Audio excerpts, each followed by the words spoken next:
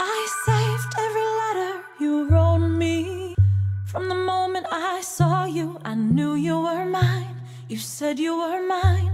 I thought you were mine.